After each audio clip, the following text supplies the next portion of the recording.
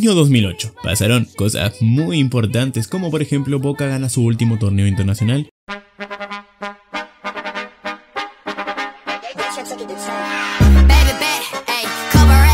Y Estados Unidos tiene un presidente grone. Además, sería la comedia romántica más importante de todos los tiempos. Ponele.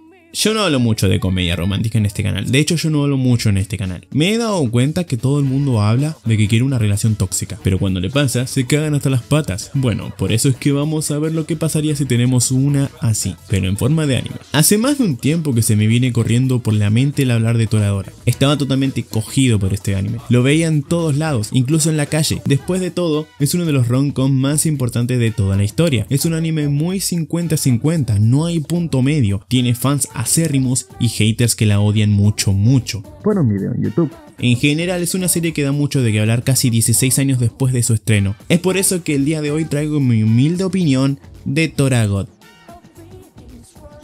Antes de empezar, quiero decir que la hija de puta que creó esta novela ligera también hizo Golden Time, una de las cosas que más odio. Sigo. La historia es simple a manos poder. Es un slice of life que narra la vida del estudiante Ryuji Takasu. Es un estudiante de secundaria amable que su sueño es ser mukama, pero en contraste con su naturaleza amable, tiene un rostro que si lo ves te cruzas de inmediatamente de vereda. Por otro lado está Taiga Isaka, una estudiante enana y parecida a una muñeca, que es todo menos que una niña linda y frágil, porque en realidad es una reverenda hija de remil equipada con una katana de madera y una personalidad de hija de puta e hincha pelota. Taiga es conocida en toda la escuela como la enana rompepija o tigre de bolsillo. Un día, un error vergonzoso hace que los caminos de los dos estudiantes se crucen. Ryuji descubre que Taiga en realidad tiene un lado dulce, está enamorada del popular vicepresidente Yusako Kitamura, este, quien resulta ser su mejor amigo y un boludo. Pero las cosas solo se vuelven más locas cuando Ryuji revela que está enamorado de Minori Kushida, esta, la mejor amiga de Taiga y una autista, Gracias a esto, los protagonistas tendrán la oportunidad de pasar mucho tiempo juntos, acercándose a medida que van conociéndose. Fin del momento Wikipedia. A partir de acá pasa absolutamente lo de siempre, ¿viste? Así que pasemos a hablar. A ver, Toradora no quiere ser más de lo que es, ¿eh? Tampoco nos vamos a hacer los boludos, ¿eh? Yo lo dije, es algo bastante sencillo. Si nos ponemos tiquismiquis, suena como cualquier roncon mediocre de esas que les gusta a ustedes, como Comisan, La Rusita y eso que ya hemos visto millones de veces. Para mí, en mi perspectiva, no es tan así, ya que la mejor que tiene esta serie no es la originalidad ni la complejidad, no es que quisiera ser realista como otras mierdas que hay por ahí. Lo mejor de esta serie es su ejecución. La serie nunca quiso ser muy complicada y meter elementos que sea eje central en la historia. Loli dimensiones paralelas, escuela en el otro mundo, buscar 100 amigos, tener mil millones de novias, una novia de alquiler, una piba que habla ruso, ni otaku, ni batallas de amor o pedo. Francamente no necesita tales elementos. Yo ya había dicho una vez en un video que el romance está muriendo, y si no lo dije, fue esquizofrenia mía pero lo pienso. Porque ya no hay serie que se basen en el amor o el romance para llevar la serie. Simplemente es otra cosa aparte que tiene que estar, porque eventualmente tiene que estarlo. Pero si es posible, no lo pondrían. Toradora sí lo hacía. ¿Que no es el amor un tema muy interesante en sí cuando es llevado de manera adecuada? Las relaciones entre los personajes son muy interesantes por sí mismas, por lo que los elementos sobrenaturales fuera de lo común o elementos para llevar la serie no son necesarios para nada. Y por eso no están presentes.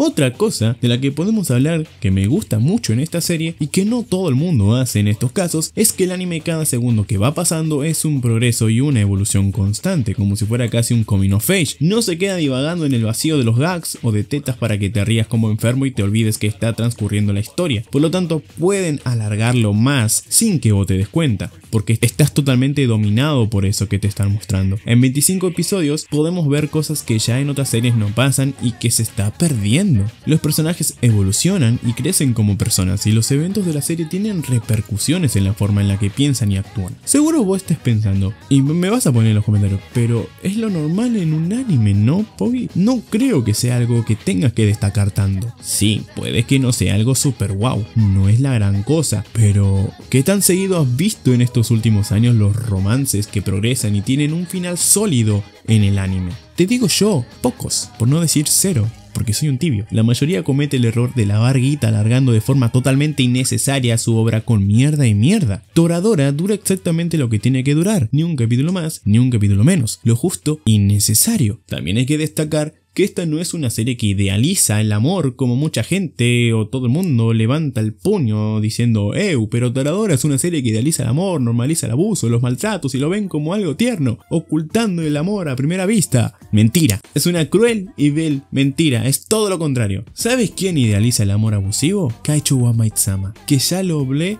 en otro video. Y Kami-sama Hajime Mashita, que lo dejamos para otro video. Toradora no es abusivo, lo que tiene es comedia slapstick propia de su época, como lo tiene Node Incantabile. Y nadie anda matando Nodame, que es un buen anime. Pero eso demuestra que existe una doble vara. Y también porque nadie vio Nade Incantable. Pero, ¿qué, ¿qué es el slapstick? Bueno, el slapstick es un subgénero de comedia que consiste básicamente en esto. Los protagonistas se caen, se cagan a bifes, chocan, corren y se tropiezan como boludos. ¿Y por qué funciona? Porque somos unos pedazos de mierda que se ríen del dolor ajeno, que no tiene consecuencias fatales, claro está. Cuando tus amigos se caen, te cagas de risa. Nuestra primera reacción es reírnos y después preguntarle cómo están, para después reírte otra vez. Lo mismo con tu pareja, pues eso es la base del slapstick, el golpe, la torpeza y la vergüenza ajena. Es humor físico en estado puro. Si queremos señalar cosas que sí son abusivas, pero que a muchos les encanta y por eso deciden no hablar e ignorarlo, tendríamos que ver Shigatsu wa Kimi no Uso, que chorrea toxicidad hasta el final, pero como les gusta y ningún youtuber hizo un video criticándolo y nadie lo va a hacer a menos que lo haga yo, no van a decir nada porque no van a poder basar su opinión en lo que alguien dice por comparar. Ambos tienen gags sobre violencia, pero de diferencia de Ryuji, el pibe de Shigatsu sufría abuso doméstico y seguir haciendo chistes con pegarle medio que no da. Ambos tienen una forma rebuscada de ver las relaciones. Ryuji y Taiga se quieren ayudar mutuamente hasta que siguiendo sus respectivos rechazos se dan cuenta de que están enamorados. En cambio en Shigatsu, la piba manipula a Arima para que vuelva a tocar el piano, enfrente su trauma y anda con el mejor amigo para acercarse a él. Otra de las cosas que más se habla de Toradora es el cliché, el abuso del cliché. Toradora se caga de risa de todos los clichés típicos que hay en este mundo del anime de romance. No hay amores a primera vista protagonistas con cara de chorro. Nada de esos argumentos que ustedes creen que Toradora usa. Ustedes hablan del realismo de Oregairu Mid, pero ustedes nunca sintieron ni analizaron esta serie. El amor en esta serie se siente completamente orgánico y real. Muestra cómo el amor, más que ser algo superficial que se siente desde el primer momento, es algo que crece con el tiempo, que son los actos de afecto y cariño los que se ganan los corazones ajenos. Nada de mierdas de te voy a acosar toda tu vida y voy a hacerte la vida imposible haciéndote bullying hasta que efectivamente caigas enamorado de mí porque soy re lindo y como soy re lindo las tengo que tener a todas. En general, todos actúan de manera coherente. Si bien algo caricaturesca y telenovelesca y uno puede casi sentir como los lazos que van formando se van fortaleciendo con el tiempo, sí, Toradora es algo que es creíble y me lo lloran. Pero tampoco es que Toradora no salga eximido de los clichés, porque no hay anime que no tenga clichés y Toradora tiene todos los clichés de escenarios posibles por haber. Episodio de playa, festival escolar, navidad, santuario, toditos. Pero dado que en su mayor parte la comedia funciona y las relaciones entre los personajes progresan en estos episodios, termina siendo algo que no importa un carajo. Lo que sí, es una telenovela pura y dura, más en los últimos capítulos que se vuelve un poco toca pelotas, ya que el drama agarra y se vuelve pesado y los personajes se vuelven como pasa casi siempre en estos tipos de animes, boludazos, y toman decisiones de eso, de boludazo. Pero bueno, la serie tiene los pies en la tierra, no olvida de dónde viene, no se vuelve un negraje como Golden Time y se acuerda que es una comedia romántica, así que la cortan con un chistaco para que no se sobreutilice y abuse del drama, y sirven para volver a la historia más significativa y bromista. Por lo tanto, a pesar de no ser perfecta, Toradora logra arreglar sus fallos de buena manera, casi volviéndolos virtudes, algo que claramente nunca esperé en mi puta vida decir sobre Toradora.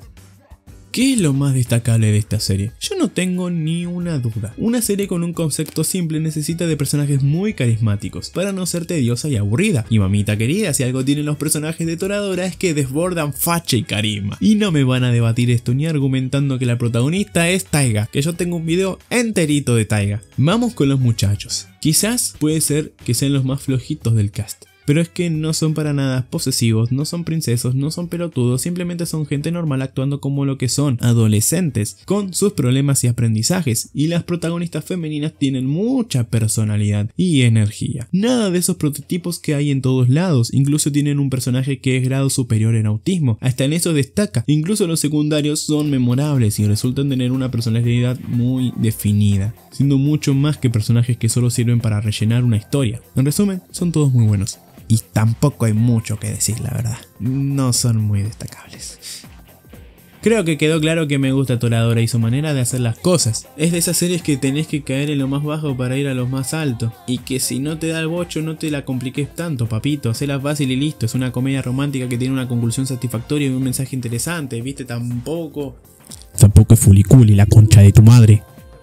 El romance siempre ha sido un género complicado e implacable. Cometes un error y la historia poco a poco se va a la mierda. ¿Por qué es eso? Bueno, como muchos de nosotros sabemos, el amor es algo complicado. Y también lo es el entretenimiento. Entonces, ¿por qué vemos series románticas? Hay muchas respuestas diferentes que varían según el, individuo, ¿no? Quizás simplemente estemos arriesgándonos a intentar encontrar un sentimiento, un sentimiento de cosquilleo en la fibra sensible de nuestro corazón o una agitación en nuestras emociones humanas. Es bueno sentir estas cosas de vez en cuando. Afortunadamente para nosotros, Toradora es una serie que con gracia nos brinda esta oportunidad, nos cautiva al recordar lo que debe aspirar a ser una serie romántica.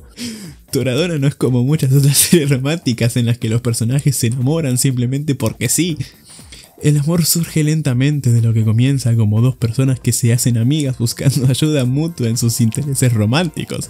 Toradora le da a su audiencia espacio para respirar y enfoca la primera mitad del anime en construir la amistad entre los dos personajes principales a través de travesuras tontas y alegres haciendo que los sentimientos románticos desarrollados entre los personajes parezcan más realistas y sinceros, cuando las cosas se vuelven más serias. Sin embargo, el amor es un asunto complicado, como dije antes. Los sentimientos de las personas son pisoteados y abandonados en el polvo. Si bien temáticamente es bueno que la audiencia se sienta conmovida emocionalmente, ver a los personajes aplastar sus emociones fue realmente un espectáculo sombrío para la vista. Ah, yo no sé cómo seguir con esto, chao.